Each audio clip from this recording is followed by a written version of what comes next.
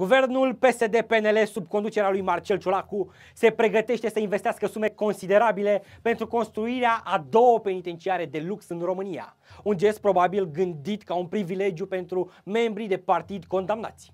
Acesta vine în contrast izbitor cu situația precară în care se află sistemul sanitar românesc, unde nu s-a construit niciun spital nou în ultimii 33 de ani.